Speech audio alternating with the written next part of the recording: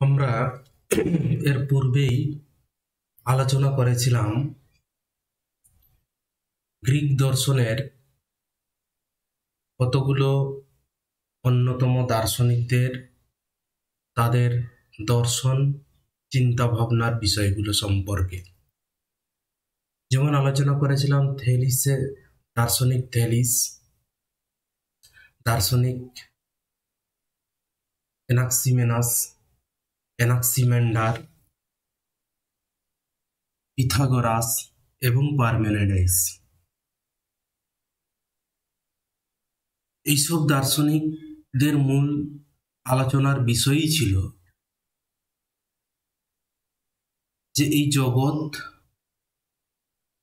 কীভাবে সৃষ্টি হয়েছে বা জগৎ তত্ত্বের মৌল উপাদানটি কি। সেই সম্পর্কে আমরা আগেই অবগত হয়েছি। আজকে আমরা যে বিষয় সম্পর্কে আলোচনা করব বা যার সম্পর্কে আলোচনা করব, তিনি হচ্ছেন সক্রেটিসের পরবর্তী একজন বিখ্যাত দার্শনিক। তার নাম হচ্ছে প্লেটো।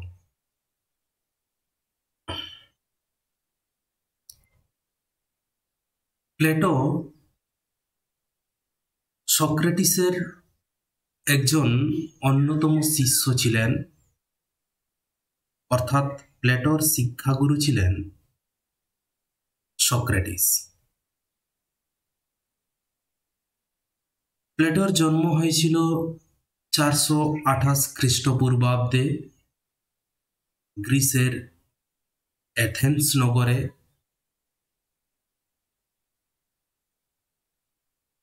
তার পূর্বে নাম ছিল এরিস্টোক্লেস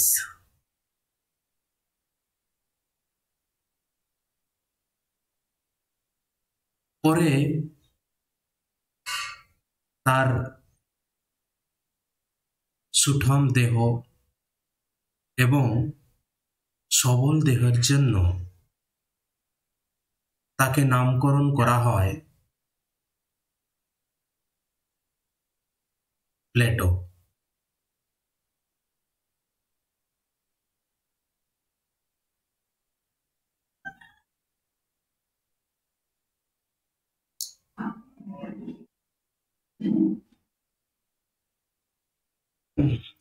তিনি শুধু গ্রিসের একজন বিখ্যাত বা অন্যতম দার্শনিক ছিলেন না। তিনি সমগ্র বিশ্বের একজন গুরুত্বপূর্ণ দার্শনিক ছিলেন। প্লেটোর পূর্ববর্তী দার্শনিকরা দর্শনের যে আলোচনা করেছিলেন সেই আলোচনাটা অতটা সুসংহত আলোচনা ছিল না। প্লেটোই সর্বপ্রথম দর্শন আলোচনাকে একটা সুসংহত আকার প্রদান করেছেন। শুধু তিনি দর্শন আলোচনার মধ্যেই সীমাবদ্ধ ছিলেন না। তিনি এই দর্শন আলোচনার সঙ্গে সঙ্গে কয়েকটি গুরুত্বপূর্ণ গ্রন্থ তিনি লিখেছেন। যেমন, Apology, Crito, Republic, Symposium, Phaedo, Theaetetus Parmenides Timaeus এই গ্রন্থগুলির বিষয়বস্তুও কিন্তু আলাদা আলাদা ছিল। বা আছে। অ্যাপোলজি গ্রন্থে প্লেটো আলোচনা করেছেন মৃত্যুদণ্ডে দণ্ডিত সক্রেটিসের বিচারে সক্রেটিসের আত্মপক্ষ সমর্থন বিষয়। ক্রিটোতে আলোচনা হয়েছি বা আলোচনা করেছেন সক্রেটিস যে একজন সত্যনিষ্ঠাবান ব্যক্তি, রাষ্ট্রের আনুগত্য বধ এবং সত্যবাদিতা ছিলেন সেই সম্পর্কে ক্রিটোতে আলোচনা হয়েছে। রিপাবলিক গ্রন্থে আলোচনা হয়েছে, আদর্শ রাষ্ট্র ব্যবস্থা ও ন্যায় বিচার প্রসঙ্গে। সেম্পোজিয়ামে আলোচনা হয়েছে জাগতিক সৌন্দর্য বিষয় সম্পর্কে। হেডোতে আলোচনা হয়েছে প্রত্যয় এবং আত্মার অমরত্ব প্রসঙ্গে। পিয়েটেটাস গ্রন্থে আলোচনা হয়েছে জ্ঞানতত্ত্ব বিষয় সম্পর্কে। পারমিনারাইজ গ্রন্থে আলোচনা হয়েছে প্রত্যয়বাদ সম্পর্কে। টাইমিউজে আলোচনা হয়েছে প্রাকৃতিক বিজ্ঞান প্রসঙ্গে।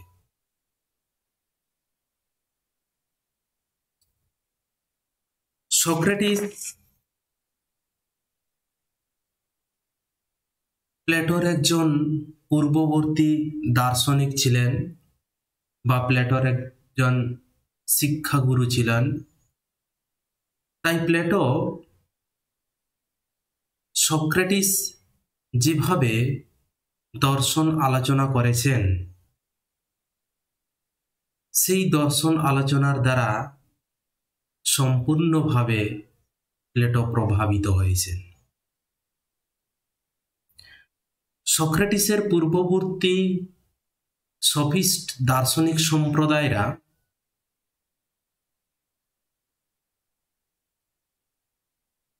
জ্ঞান কি সেই সম্পর্কে আলোচনা করতে গিয়ে তারা বলেছেন, জ্ঞান হল প্রত্যক্ষ অনুভবলব্ধ বিষয়।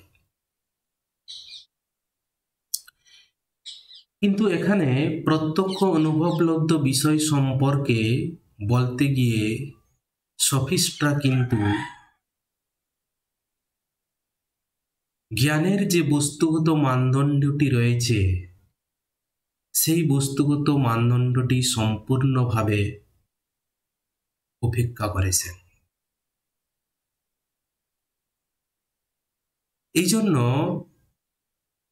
সক্রেটিস তিনি এই প্রত্যক্ষ অনুভবলব্ধ জ্ঞানকে সম্পূর্ণভাবে প্রত্যাখ্যান করেছেন এবং পরবর্তীকালে জ্ঞানের সত্যতা সম্পর্কে বলতে গিয়ে বা আলোচনা করতে গিয়ে তিনি জ্ঞানের বস্তুগত মানদণ্ডটির উপরে বিশেষ গুরুত্ব দিয়েছেন। তিনি বলেছেন, জ্ঞান একটা বুদ্ধি এবং যুক্তির উপরে নির্ভর করে। অর্থাৎ জ্ঞানের বিষয়ে আলোচনা করতে গিয়ে বা জ্ঞান কি, এই বিষয়ে আলোচনা করতে গিয়ে সক্রেটিস বস্তুগত মানদণ্ডটির উপর অর্থাৎ বুদ্ধি বিচার, যুক্তি বিশ্লেষণের উপরেই গুরুত্ব দিয়েছেন। সক্রেটিস জ্ঞান আলোচনার একটি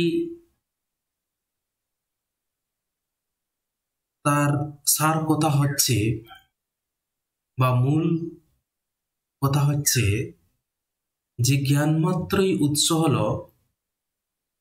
প্রত্যয় বা ধারণা বা সামান্য ধারণা। এই প্রত্যয় বা সামান্য ধারণা বলতে সক্রেটিস বিশেষ কোনো বস্তুকে বোঝাননি বা বিশেষ কোনো বস্তুর বিশেষ ধর্মকে তিনি বোঝাননি। তিনি বিশেষ শ্রেণির অন্তর্গত একটা সাধারণ ধর্মকেই তিনি সামান্য ধারণা বলেছেন।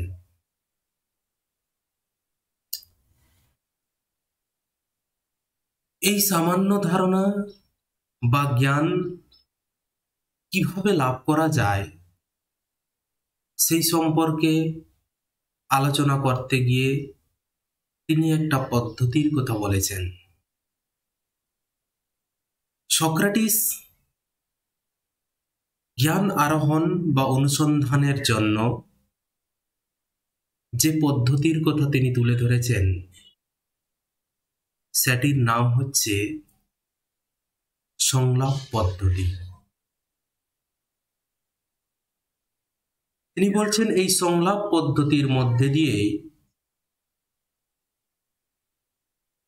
জ্ঞানের যথার্থতা লাভ করা যায়। সেই একইভাবে সক্রেটিসের শিষ্য প্লেটো কিন্তু জ্ঞান আরোহণের জন্য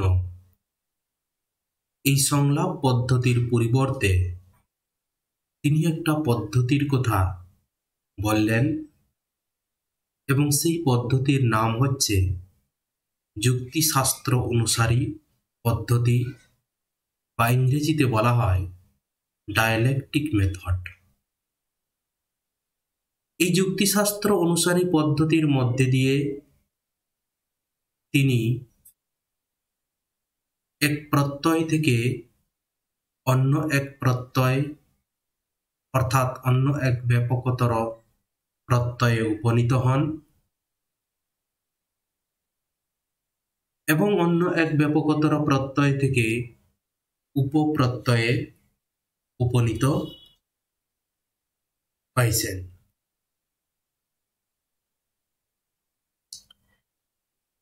এই পদ্ধতির মধ্যে দিয়েই প্লেটো কিন্তু তার জ্ঞানতাত্ত্বিক আলোচনা চালিয়ে গেছেন। প্লেটোর দর্শনকে সমগ্রভাবে দেখলে দেখা যায়, তার দর্শন আলোচনা তিনটি ভাগে বিভক্ত হয়েছে। অর্থাৎ দর্শন আলোচনায় প্লেটোর তিনটি পদ্ধতি রয়েছে। বা তিনটি বিভাগ রয়েছে। একটা হচ্ছে ডায়ালেকটিক অর্থাৎ যুক্তিশাস্ত্র অনুসারী বিভাগ। শাস্ত্র অনুসারী বিভাগ, যেটাকে বলা হচ্ছে ডায়ালেকটিক দ্বিতীয়টি হচ্ছে মেটাফিজিক্স অর্থাৎ অধিবিদ্যা এখানে পদার্থবিদ্যা, মনোবিদ্যা বিষয় সম্পর্কে আলোচনা হয়েছে। তৃতীয়তে রয়েছে এথিক্স অর্থাৎ নীতিবিদ্যা। এই নীতিবিদ্যায় আলোচনা হয়েছে রাজনৈতিক বিষয় সম্পর্কে।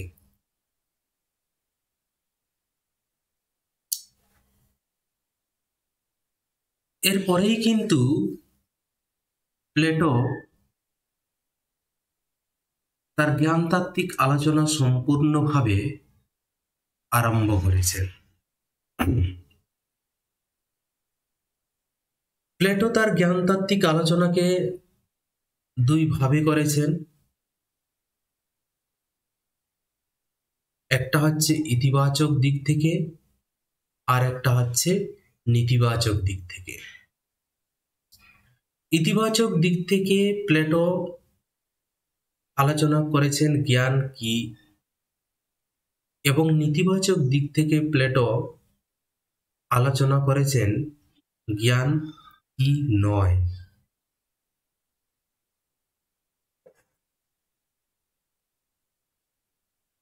জ্ঞান কি নয়?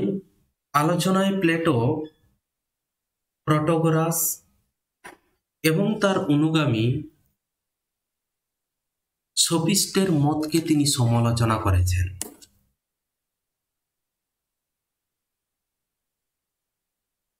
প্লেটো জ্ঞান কি নয়? এই বিষয়টিকে তিনভাবে আলোচনা করেছেন একটি হচ্ছে জ্ঞান প্রত্যক্ষ অনুভব নয়, যেটাকে ইংরেজিতে বলা হয় নলেজ ইজ নট পারসেপশন দু নম্বরে তিনি বলেছেন, জ্ঞান মতামত বা বিশ্বাস নয় যেটা ইংরেজিতে বলা হয় knowledge is not opinion or belief তিন নম্বরে তিনি বলেছেন, জ্ঞান সত্য বিশ্বাস বা সত্য বচন নয় যেটাকে বলা হয় truth alone is not knowledge প্রথমে আমরা আলোচনা করব যে নলেজ ইজ নট পারসেপশন অর্থাৎ জ্ঞান প্রত্যক্ষ অনুভব নয়। জ্ঞান যে প্রত্যক্ষ অনুভব নয়, এই বিষয়টিকে তিনি তার বিখ্যাত গ্রন্থ ইটেটাস গ্রন্থে বিভিন্নভাবে আলোচনা করেছেন। তিনি জ্ঞানের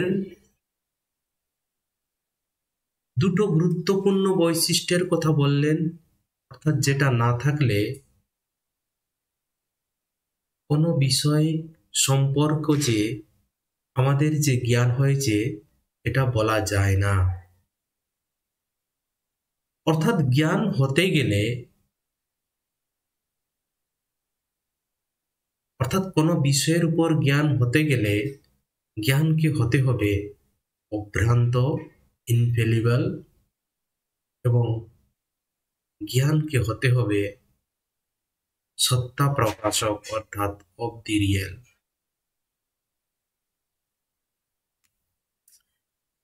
প্লেটো বলছেন যে যদি জ্ঞান প্রত্যক্ষ অনুভব হয়, অর্থাৎ সফিস্টের মতবাদকে স্বীকার করা হয়, তাহলে জ্ঞান সত্তার স্বরূপ হতে পারে না। আর সত্তার স্বরূপ যদি না হয়, তাহলে তা হবে অবভাস। যেমন অর্ধ নিমঞ্চিত ছুরিকে আমরা বাঁকা রূপে প্রত্যক্ষ করি। আবার দুটি সমান্তরাল রেল লাইনকে অনেক দূরে মিলিত হতে দেখি।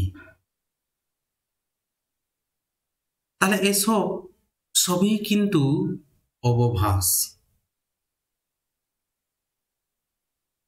তাহলে প্রত্যক্ষে অভিজ্ঞতা বস্তু মাত্রই না কোনো বস্তু সত্তার অবভাস মাত্র। প্রত্যক্ষ কখনো কিন্তু বস্তু সত্তার স্বরূপ প্রকাশ করতে পারে না।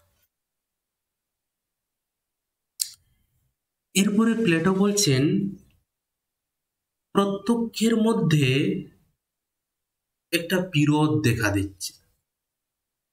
অর্থাৎ consistings of direct spelling conflict অর্থাৎ প্রত্যক্ষের মধ্যে একটা বিরোধ থাকে।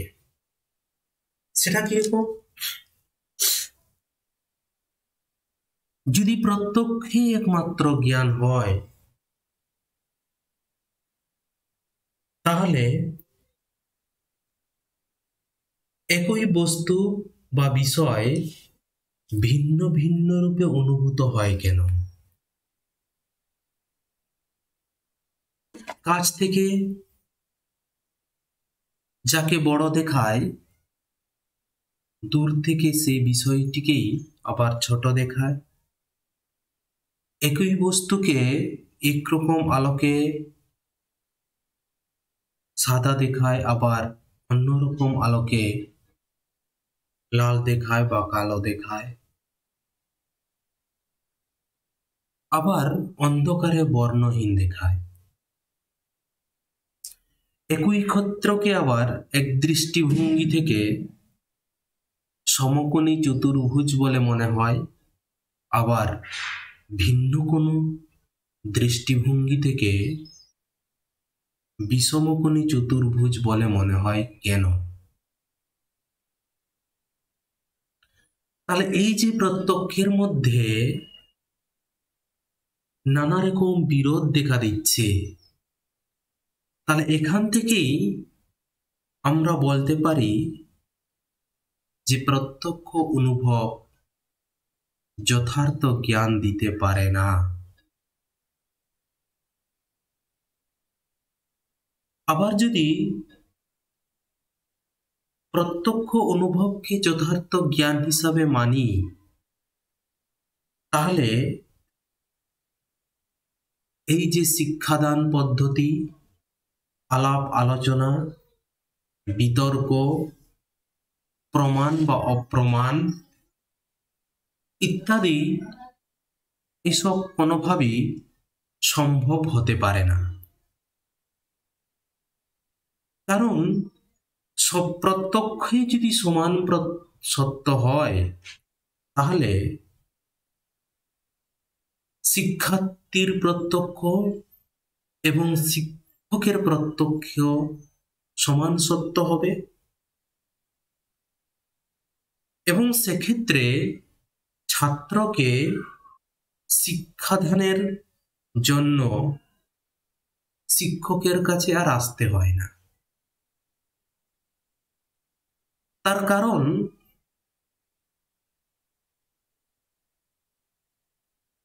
শিক্ষক, শিক্ষার্থীর শিক্ষাদানের ক্ষেত্রে অতিরিক্ত জ্ঞানের বিষয় বলে আর কিছু থাকে না।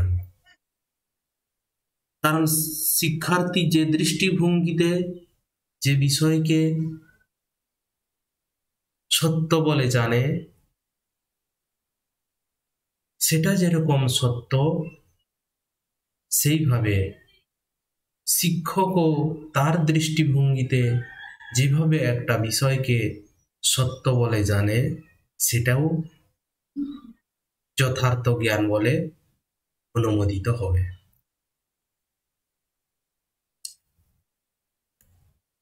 আবার প্রটোগরাস বা সফিস্ট সম্প্রদায়ের যে একটা বিখ্যাত অভিমত।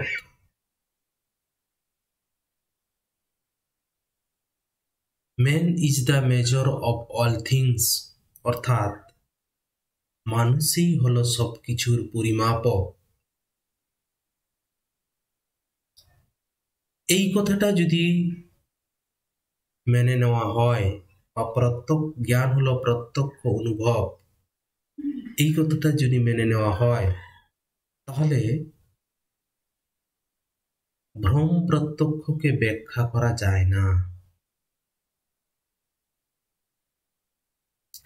আমরা অনেক সময় দুড়িকে সাপরূপে প্রত্যক্ষ করি। তাই তো? অল্প আলোকে আমরা অনেক সময় হঠাৎ করে দড়িকে সাপরূপে প্রত্যক্ষ করে ভয় পাই। তাহলে যদি আমরা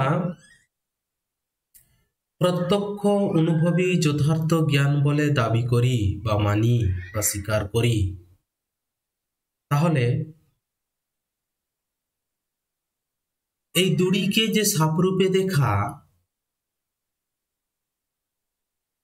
সেখানে মানতে হবে যে দড়ি সাপ অর্থাৎ সাপটাই আসল বস্তু, দড়ি নয়।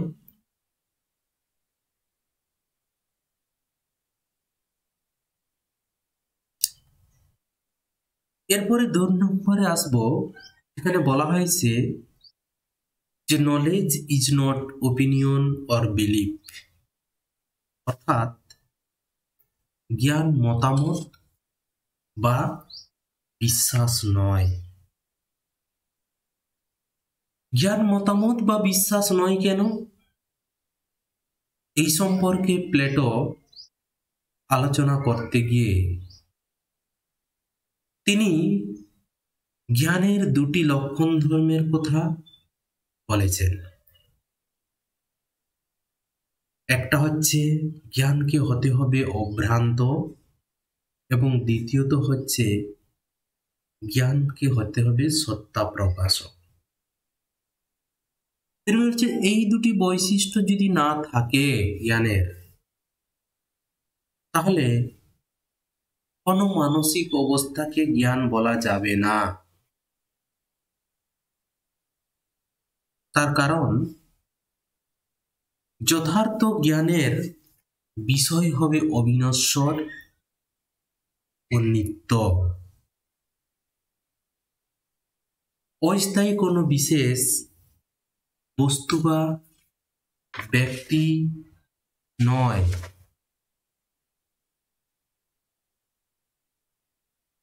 অর্থাৎ, অস্থায়ী বিশেষ বস্তু বা বস্তু সম্পর্কে আমাদের যে মনোভাব, তা জ্ঞান নয়, তা হল মতামত বা বিশ্বাস।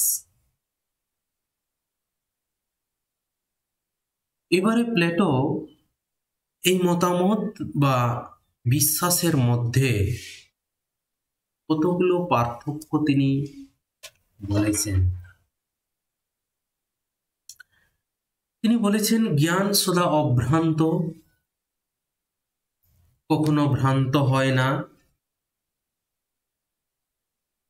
আর বিপরীত পক্ষে মতামত বা বিশ্বাস ভ্রান্ত হতে পারে। অর্থাৎ মতামত বা বিষয় অনুসারে বিষয় থাকতে পারে। বা নাও থাকতে পারে। ঘটনা ঘটতে পারে বা নাও ঘটতে পারে। ধরা যাক, আমি বললাম যে আমার বিশ্বাস আছে যে আগামীকাল ঝড় বৃষ্টি হবে। কিন্তু দেখা গেল যে আগামীকাল ঝড় বৃষ্টি হয়েছে। তাহলে কি আমি বলব যে আমার বিশ্বাসটি যথার্থ জ্ঞান দিচ্ছে? এখানে প্লেটো বলছেন, না। এই যে আমার বিশ্বাস ছিল আগামীকাল বৃষ্টি হয়েছে, বৃষ্টি হবে কিন্তু আগামীকাল বৃষ্টি হয়েছে। বা হলো এই বিশ্বাসটি সত্য হলেও কিন্তু এটাকে আমরা যথার্থ জ্ঞান হিসাবে ধরি না। তার কারণ হলো, এই জ্ঞানটি, এই বিশ্বাসটি কখনো কখনো সত্য হবে, আবার কখনো কখনো মিথ্যা হবে। তাহলে যেহেতু বিশ্বাসটি কখনো কখনো সত্য হবে, কখনো কখনো মিথ্যা হবে, আর এই বিশ্বাসের পিছনে কোনো বৈজ্ঞানিক যুক্তি প্রমাণ নেই, তাই এই মতামত বা বিশ্বাস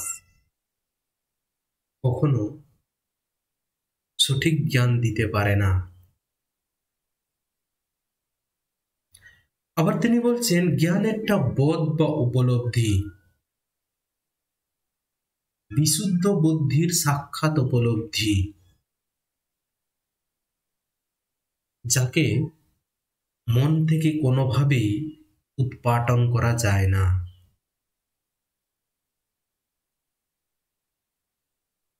প্লেটো যেটাকে জ্ঞান বলছেন সেই জ্ঞান কিন্তু পাত্র বা কালভেদে অভিন্ন থাকে। কিন্তু মতামত বা বিশ্বাসের ক্ষেত্রে এমন কোনো উপলব্ধি বা বোধ থাকে না। সেই জন্য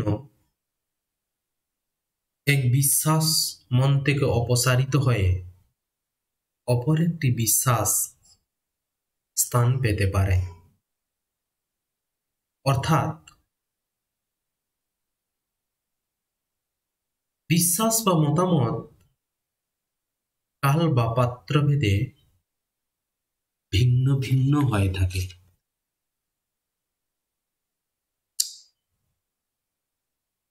এবারে তিন নম্বরে আসব যেটাকে তিনি বলেছেন, সত্য বচন মাত্রই জ্ঞান নয়।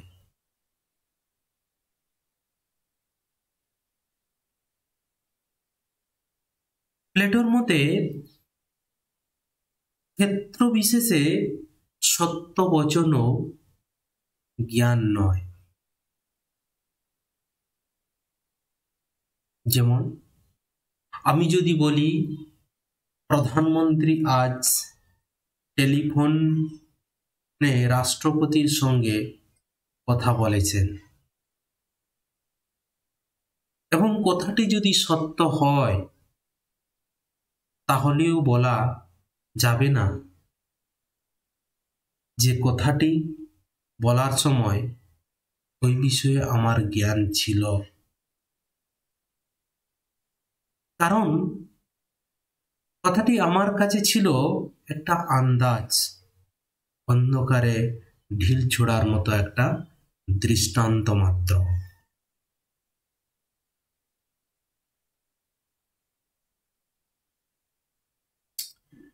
তাহলে এই সত্যবচন কখনো কখনো সত্য হলেও সেটাকে কিন্তু আমরা জ্ঞান বলতে পারি না। কারণ অনেক সময় আমরা অন্ধকারে ঢিল ছোড়ার মতো কথা বলে দিই। ধরা যাক, রাম, আমি দেখেছি এর পূর্বে প্রত্যেক দিন কলেজে ক্লাসে আসত। তাহলে আমি আজকে বলব যে কালকে রাম কলেজে আসবে।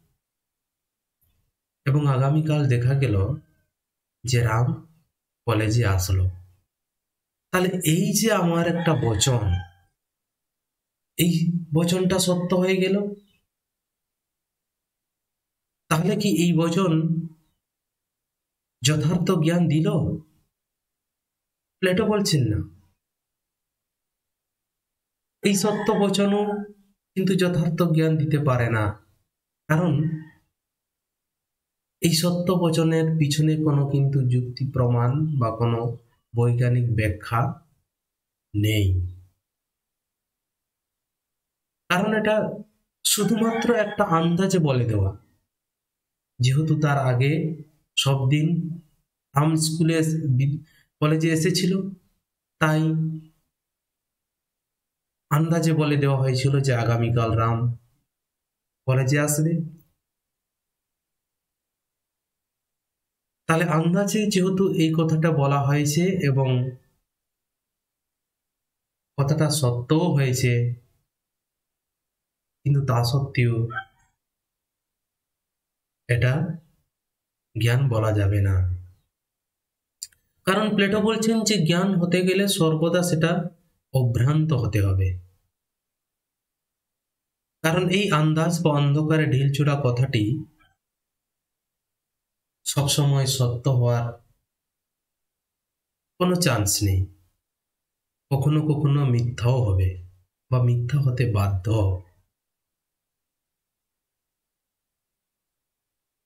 তাহলে আমরা আজকে যে বিষয়টা সম্পর্কে আলোচনা করলাম, সেটা আমি আবার একবার সংক্ষেপে বলে দিচ্ছি। সক্রেটিসের পরবর্তী যে মহান দার্শনিক, তিনি হচ্ছেন প্লেটো। এই প্লেটোর জন্ম হয়েছিল চারশো আঠাশ খ্রিস্টপূর্বাব্দে গ্রিসের এথেন্স নগরে।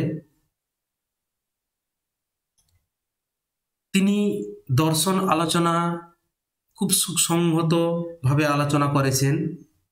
একটা সুসংহত আকার প্রদান করেছেন। তিনি যে গ্রন্থগুলো লিখেছিলেন, তার মধ্যে হচ্ছে এপোলজি রিটো Republic Symposium Phaedo Theaetetus Parmenides Timaeus শুধু তিনি গ্রন্থ আলোচনা করেননি, তিনি গ্রন্থ আলোচনার সঙ্গে সঙ্গে বা গ্রন্থ লেখার সঙ্গে সঙ্গে দর্শনের বিষয়ে নানা দিক তিনি তুলে ধরেছেন। তার দর্শনকে আলোচনার তিনটি বিভাগ দেখা যায়। তার মধ্যে হচ্ছে ডায়ালেকটিক বিভাগ, মেটাফিজিক্স বিভাগ এবং এথিক্স বিভাগ।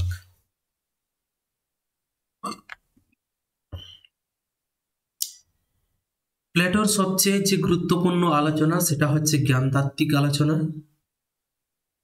এই জ্ঞানতাত্ত্বিক আলোচনা করতে গিয়ে তিনি দুভাবে আলোচনা করেছেন। একটা হচ্ছে ইতিবাচক দিক থেকে আর একটা হচ্ছে নেতিবাচক দিক থেকে।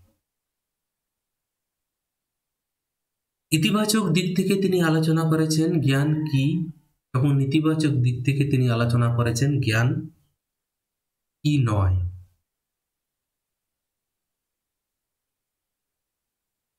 জ্ঞান কি নয়? এই বিষয় সম্পর্কে আলোচনা করতে গিয়ে মূলত সফিস্ট এবং প্রটোগ্রাসের মতকে সমালোচনা করেছে এবং এটাকে তিনভাবে আলোচনা করেছেন। জ্ঞান প্রত্যক্ষ অনুভব নয়। জ্ঞান মতামত বা বিশ্বাস নয় এবং জ্ঞান সত্যবচন নয়। জ্ঞান প্রত্যক্ষ অনুভব নয় এ বিষয়ে আলোচনা করতে গিয়ে তিনি জ্ঞানের দুটো বৈশিষ্ট্যের কথা বলেছেন। একটা হচ্ছে জ্ঞানকে হতে হবে অভ্রান্ত এবং দ্বিতীয়টি হচ্ছে সত্তা প্রকাশক। অর্থাৎ এই দুটি বৈশিষ্ট্য যদি না থাকে, তাহলে সেই বিষয়ে ক্ষেত্রে যে আমাদের জ্ঞান হয়েছে, সেটা বলা যাবে না। দ্বিতীয়ত তিনি বলছেন যে জ্ঞানের অর্থাৎ প্রত্যক্ষ অনুভবের মধ্যে নানা রকম বিরোধ থাকে। অর্থাৎ অনেক সময় একটা বিষয়কে কাছ থেকে ছোট দেখায়, আবার কাছ দূর থেকে বড় দেখায়। তাহলে যদি প্রত্যক্ষ অনুভবে একমাত্র জ্ঞান হয়, তাহলে এক দৃষ্টিভঙ্গি থেকে যেটা সমকোণী চতুর্ভুজ বলে মনে হচ্ছে, আবার অন্য কোনো অন্য কোনো দৃষ্টিভঙ্গি থেকে সেই বিষয়টিকে আবার ক্ষেত্রটিকে বিষম চতুর্ভুজ বলে মনে হচ্ছে কেন? আবার তিনি বলছেন, প্রত্যক্ষই যদি অনুভব, প্রত্যক্ষ অনুভবেই যদি একমাত্র জ্ঞান হয়, তাহলে আমাদেরকে মানতে হবে যে man is the measure of all things অর্থাৎ মানুষই হল সব কিছুর পরিমাপক, যেটা প্রটাগরাস বা সফিস সম্প্রদায়েরা বলেছেন। কিন্তু যদি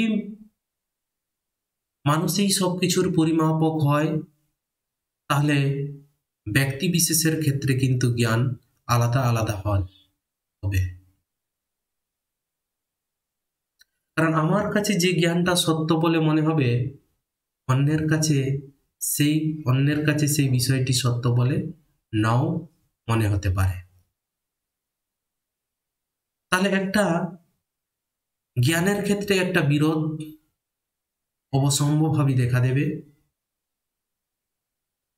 সেই জন্য প্লেটো বলছেন, এই প্রত্যক্ষ অনুভবেই এই কখনো কিন্তু যথার্থ জ্ঞান বলা যাবে না? এরপরে তিনি বলেছিলেন যে knowledge is not opinion or belief অর্থাৎ জ্ঞান কখনো মতামত বা বিশ্বাস নয়।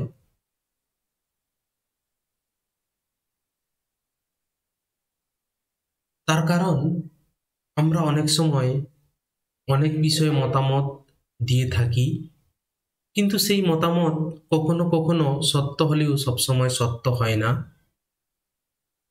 মিথ্যাও হয়ে থাকে। এই মতামত বা বিশ্বাসের পিছনে কোনো আমাদের যুক্তি, প্রমাণ নেই বা আমরা কোনো বৈজ্ঞানিক ব্যাখ্যা দিতে পারি না। তাই প্লেটো বলছেন, এই মতামত বা বিশ্বাস কিন্তু যথার্থ জ্ঞান দিতে পারে না। আবার সত্যবচন অর্থাৎ truth alone is not knowledge অর্থাৎ সত্যবচন মাত্র, কিন্তু জ্ঞান নয়।